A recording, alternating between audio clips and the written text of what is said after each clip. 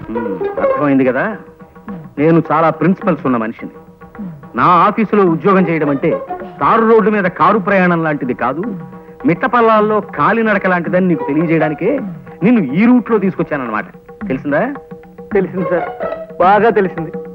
ఇప్పటికీ మనం ముప్పై రెండు కిలోమీటర్లు నడిచొచ్చాం. పుట్టి బుద్ధి ఎరిగాక నేను ఎప్పుడు ఇంత దూరం నడవలేదు సార్. నడవాలయ్యా. నడకని మించిన వ్యాయామం లేదని నమ్మే మనిషిని నేను. అసలు మనిషి జీవితమే నడక్కదయ్యా. ఉయ్యాల నుంచి శ్మశానం దాకా ఉండే నడకే జీవితం పురిటి మంచం మించి పుడకల చితి దాకా ఉండే నడకే జీవితం ఏమంటావు? ఏమనడానికి నాలో ఓపిక మిగలేదు సార్. జస్ట్ ఊరికి అలా వింటారంతే. ఆ, పద. అలా సరదాగా ఇంకో ఇరవై కిలోమీటర్లు నడిచి వచ్చేద్దాం. ఇంకో ఇరవయా? ఆ, ఆ, అదిగో అదిగో, అదిగో చూసావా? నువ్వు ఇలా తూలిపోతున్నావంటే నీ శరీరం ఇంకా వ్యాయామాన్ని కోరుతోందన్నమాట. పద. దా దా అలా నడవాలి ఆ.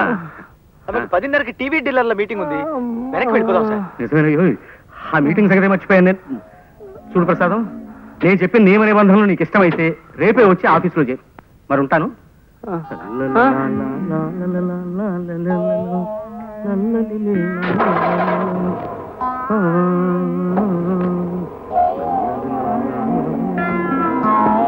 ఈ ఏడుపేంట్రా కాళ్ళు నొప్పులు పుడితే కళ్ళ నీళ్ళు పెట్టుకుంటావేమిటి కాళ్ళ నుంచి నీళ్ళు రావు కదరా మరి. అందుకే కళ్ళు నీళ్ళు పెట్టుకుంటున్నాను. అరే అదేం మనిషి రా నాయన? తన ఆఫీస్ రూల్స్ ఏమిటో చెప్తూ ముప్పై రెండు కిలోమీటర్లు నడిపించి తీసుకెళ్ళి నన్ను వదిలేసి కారెక్కు తుర్రుమన్నాడు. ఇలా రోజుకు ముప్పై నలభై కిలోమీటర్లు నడవడం నా వల్ల కాదు. ఏ సైకిల్ కొట్లోనో పంచర్లు వేసుకునైనా బతుకుతాను కానీ ఈ ఉద్యోగం మాత్రం నేను చేయలేను. ఒక్క నడిపించి ఏడిపించే గోల తప్ప మిగతా విషయాల్లో జమ్రా మా బాసు. నీలో వర్తుంటే నెత్తిన పెట్టుకుంటాడు మంచి జీతాలు ఇస్తాడు. నా లోలు కాస్త నడక అలవాటు చేసుకో. సర్దుకుపోవచ్చు. ఈ బడుద్దాయి ఎవరో? ఆ, నా ఫ్రెండ్ ప్రసాద్. గుర్రం ఎక్కుట చేతగాని కుర్ర కుంకకు హితులు స్నేహితులు కూడా ఏలనో తమ బొంద. జోగి జోగి రాసుకున్న బూడిదరాలనని ఈ గృహమునందు అతిథులకు చాయకిరి చేయి వారెవరునూ లేరు. తక్షణమే తగాడని చతుశ్చక్ర శకట నివాస స్థానమునకు కొనిపోయి పంపివేయుడు. చతుశ్చక్ర? ఇదేమిటి? మానవుల భాషలో మాట్లాడినా ఆ చతుశ్చక్ర శకట నివాస స్థానమును ఆంగ్లమున బస్ స్టాండ్ అందరు. ఇది నువ్వు తెలియదు మనకు మన పిండము. మీ నాన్నగారా? అవును. పాపం.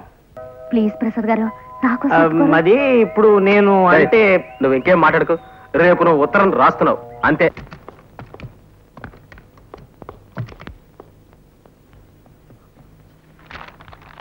ముందు పాండు. మీ కూతురు పద్- పద్మ ఓ కుర్రాడితో ప్రేమ ప్రేమలో పడింది. ప్రసాద్! సార్? ఏమిటి సార్? మనం కాస్త మాట్లాడుకోవాలి. పద. సార్ ఇలా శ్మశానంలో వాకింగ్ పెట్టారు ఏదైనా సీరియస్ మ్యాటరా? అవును. Serious matter. మా అమ్మాయి ఓ కుర్రాడితో ప్రేమలో పడిందని ఎవడో దగులుబాజీ వెధవ నాకు ఉత్తరం రాశాడు. సార్ రాసిన తిట్టకండి సార్. పాపం వాడేదో మీకు మంచి చేద్దామని రాసుంటాడు. ఎవరో మహానుభావుడు. ఏమో? ఎందుకు రాశాడో దరిద్రపు కుంక. నువ్వు వీక్షణ నుంచి ఆ పనిలోనే ఉండి ఇరవై నాలుగు గంటల్లోపు ఆ ఉత్తరం రాసిన ఎవడో నాకు కనిపెట్టాడు.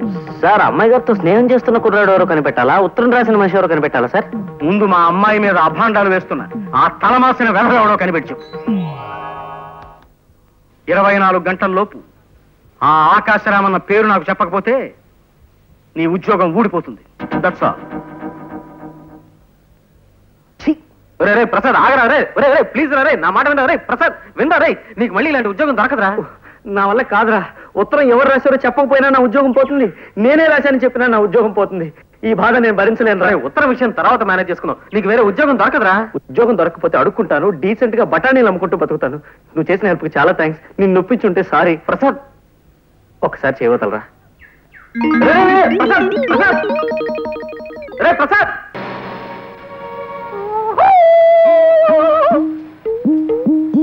దా బిడ్డ దా దా.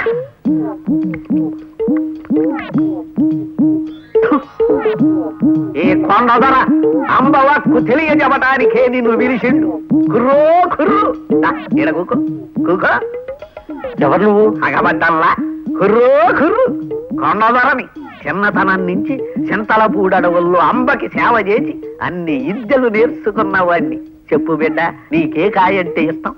గిలక్కాయ. మ్మ్. ఎలక్కాయ సరే ఇది చెప్పు నీకే పండు అంటే ఇష్టం? విభూతి పండు. కుర్రో కుర్రు. బిడ్డ ఈ కొండ దొరత ఏకచక్రాడకు చిన్న మంత్రం చదివితే నీ కుడి చెయ్యి ఎడం కాలుడి కింద పడిపోతాయి జాగ్రత్త. ఇంతకు నన్ను ఎందుకు పిలిచావో చెప్పు. కుర్రో కుర్రు. నీకో సైకిల్ కొట్టుంది నిజమేనా? నిజమే. కుర్రో కుర్రు. అందరూ నీ కాడ బల్లెట్టుకు పోయి వాటి నమ్ముకు తినేస్తున్నది నిజమేనా? నిజమే. నీకెలా తెలుసు? కుర్రో కుర్రు. అంబకి తెలియని విషయం ఉండదు బిడ్డ. ఇప్పుడు నా చేతిలో పది నోటు కొట్టు. నీ మనస్సు దోచిన పెట్ట గురించి చెబుతా? కుర్రో కుర్రు. చూడు బిడ్డ నీకు గరుత్మంతుడి శాపం ఉన్నది. నీవు ఆ పిల్లని ప్రేమించిన విషయం ముందు ఆ కోనకే చెప్పాల. అంతకు ముందు ఇంకెవరికన్నా చెప్పావో గరుత్మంతుడు గుడ్లెర్ర చేస్తాడు. ఆ వెనక కుర్రో కుర్రు నీ పెట్ట ఇంకొకడితో తుర్రో తుర్రు. అలాగా? నేను ప్రేమిస్తున్న విషయం ముందు లలితకే చెప్పాలా? సరే అయితే నేను తను ప్రేమిస్తున్నట్టు లలితకి చెప్పేదాకా ఇంకెవరికీ చెప్పను. కుర్రు ఈ తాయిత్తు నీ కుడి దెబ్బకి కట్టుకో జయము కలుగుతుంది. కుశలందికి సింధోబ్జాబ్జాబ్జా. ఆ సౌండ్కి అర్థం?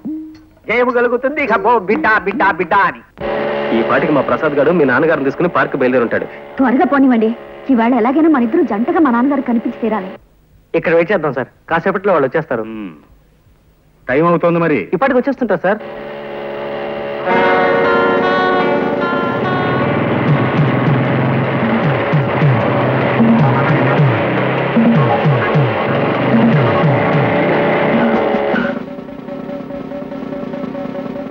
హెల్మెట్ ఎక్కడ మిస్టర్? హెల్మెట్ సారీ మర్చిపోయాను సార్ ప్లీజ్. మీ సేఫ్టీ కోసం హెల్మెట్ పెట్టుకోమంటే మీ యంగ్స్టర్స్ అంతా దాని ఏదో జోక్ కింద తీసుకుంటారు. అసలు హెల్మెట్ వల్ల ఉపయోగం తెలుసా మీకు? టైం ఐదున్నర దాటుతుంది. ఇంకా వీళ్ళు ఎక్కడ అయిపోతారే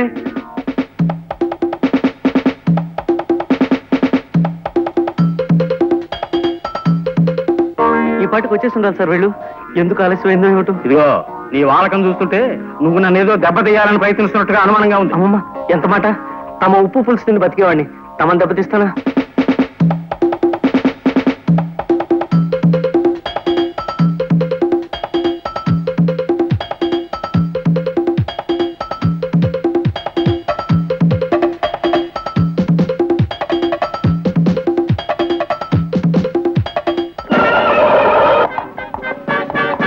ఏమిది పుత్రరత్నమా? రక్షక భటుడు తమరిని మందలించుతున్నాడు ఏమైనది తమ బొంద? అంటే నాకు హెల్మెట్ లేదని? ఈ పడత ఎవరు? మా ఓనర్ గారు అమ్మాయి నాన్న. మధ్యలో ఆవిడ కారు పాడైతే లిఫ్ట్ ఇస్తున్నాను. ఈ లోపీనా ఏమో ఈ రక్షక భట ఏమిటి? తిట్టారా నన్ను? చెప్పండి. ఇంకో కేసు కూడా రాసేస్తాను. రక్షక భటుడన్నది నీకు వృత్తిరీత్యా సంక్రమించిన నామధేయం బాలక. నా కుమరుని శిరస్థానము లేదని ఆపితివట. నిక్కమేనా? శిరస్త్రాణమా? అంటే? అది నువ్వు తెలియదు. తమ శ్రాద్ధము. శిరస్థానమును ఆంగ్లమున హెల్మెట్ అందురు. అవును. హెల్మెట్ లేకుండా బైక్ నడపడం నేరం. సరే. నీవు అశ్వమును అధిరోహించగలవా? అంటే గుర్రము ఎక్కగలవా అని అడుగుతున్నారు. హార్స్ రైడింగ్ తెలీదు. అది అది ఏ మన దేశ దౌర్భాగ్యము? గతమున సిపాయిలందరూ అశ్వారోహకులే. నేటి రక్షక భటులకు అశ్వమును అధిరోహించుట రాదు. కలికాలము. అసలు అశ్వారోహణము వల్ల కలుగు ప్రయోజనములు నీకు తెలియనా? తెలీదు. తెలియదా? చెప్పెదన వినుము. టైం పాస్ అవడానికి కాసేపు పాటలు ఏమైనా పాడుకున్నా మాట్లాడాయని మొహం. ఘంటసాల పాటలు సార్. ఘంటసాల పాటల. మహానుభావుడు పాడుకున్నావు ఏమిటయా మీకు మాయాబజార్లో పాటలు ఏవి రావనుకుంటాను? నాకు రాకపోవడం ఏమిటయని మొహం? చూపులు కలిసిన శుభవేళ ఎందుకు నీకి కలవరము? చూపులు కలిసిన శుభవేళ ఎందుకు మనకి కలవరము? ఇక పరవశమంతా చెరిసగము.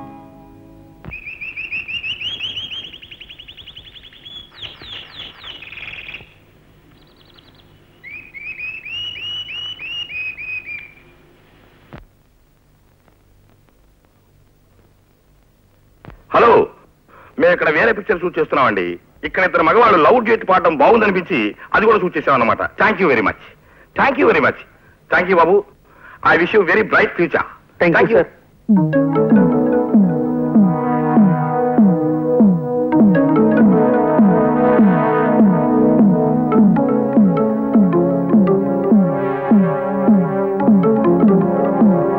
మా అమ్మాయిని చూపిస్తానని పార్కుకి తీసుకొచ్చి నా చేత పాట పాడించి దిక్కుమాలిన గంతులేయించి చివరికి సినిమాల్లో కూడా పడేట్టు చేసి నన్నుట్టి వెర్రి వెంగళ పని చేస్తావా? నిన్ను! సార్ పాపం మీ చేతికి దెబ్బ ఇప్పుడు పారిపోయినంత మాత్రం సరిపోదయ్యా. రేపటి నుంచి నువ్వు నా ఆఫీస్ రావడానికి వీల్లేదు. You are dismissed okay okay ఏం పర్లేదు. ఆ దిక్కుమాల కుక్క మొహానికి చాలా కళ్ళ జోడెందుకురా చవటాన్ని ఆలోచించగా ఆలోచించగా నాకు ఐడియా తట్టింది అమ్మా. నేను ఈ నల్ల కళ్ళజోడు పెట్టుకుంటే నా లుక్ ఎట్టుందో ఎవరూ పసిగట్టలేరే అమ్మా. ఎలా ఉండే అమ్మా నా ఐడియా? ఏంటి మొహం కడుక్కున్నట్టుంది గాని? ఈ పెళ్ళి చూపుల్లో కూడా తింగర చేస్త చేశావంటే ఇక చస్తే నీకు పెళ్ళి సంబంధాలు చూడండి నేను. ఏమక్కర్లేదు ఈ సంబంధం ఖాయమైపోతుంది చూసుకో. రండి అల్లుడు గారు. అయ్యో, అలా పడిపోయినట్రా శుభం గాజు పగిలితే శుభం అంటారు. ఏం శుభం లేండి అన్నయ్య గారు. గాజు పగిలితే అసలు రంగు బయటపడుతుందని నా భయం. ఓ అద్దం పోయింది కదా. ఆ కళ్ళతోటి తీసేయండి అల్లుడు గారు. పర్వాలేదండి ఇది ఉంటే సగం పరువైనా దక్కుతుంది. రాబే అమ్మా. రండి. కాకి చూపు చూసుకుంటూ జాగ్రత్తగా పద.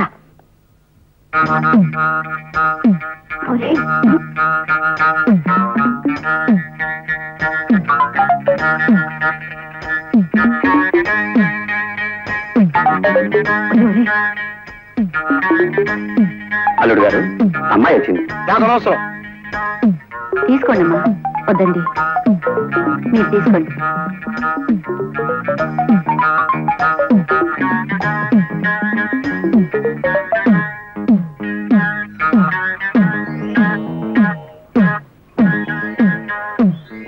బాబు పిల్లలు ఒకసారి చూడండి.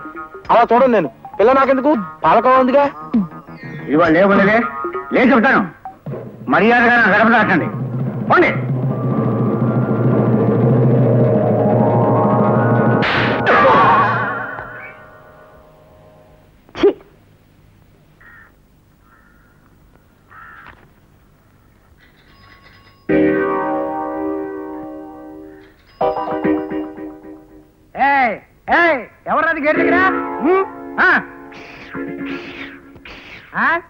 ఏంట్రా? ఏంటి కనకొడుతున్నావు ఆటలుగా ఉందంటరా నీకు? దరిద్రురా నేను రా మీ అయ్యగారిని. అయ్యా మీరా? పో పో. ఎవరు కావాలి బాబా? అయ్యగారు ఉన్నారా? బయటికి వెళ్ళారు బాబా. తమరెవరు బాబా? మీ అయ్యగారు తమ్ముడు గారు మా అయ్యగారు. ఆయనతో ఏవో సంతకాలు చేయించరమ్మని పంపారు. ఎప్పుడు వస్తారాయన ఇప్పుడే వచ్చేస్తారు బాబా. రండి బాబా. అట్టంకు పెట్టేటి ఇవ్వండి బాబా మా పెళ్ళి విషయం ఎంతవరకు వచ్చిందండి? ఆ ఏం పెళ్ళో లేవయ్యా. పెద్ద ఆయనేమో మంచి సంబంధం చూసి పిల్లకి పెళ్ళి చేయాలంటాడు. ఆ చేదస్థాలు కుర్రాళ్ళకి ఎందుకు నచ్చుతాయి? పద్మమ్మ గారు మా ఆఫీసులో పనిచేసే ఒక కుర్రాడితో ప్రేమలో పడింది. పద్మ ప్రేమలో పడిందా? వెంట కుప్పలో పడింది అన్నట్టు అట్ట అరుస్తావేమయ్యా? పడింది ప్రేమలోనే కదా? ఏ ఓ అమ్మాయి అబ్బాయి ప్రేమించుకుంటే తప్ప? పద్మ నా రక్తం పంచుకు పుట్టి నాకే ఇంత ద్రోహం చేస్తావా? ప్రేమలో పడతావా? ప్రేమలో. ఎట్టి పరిస్థితుల్లోనూ నీ ప్రేమ పెళ్ళి జరగకుండా చేస్తాను. చూసుకో.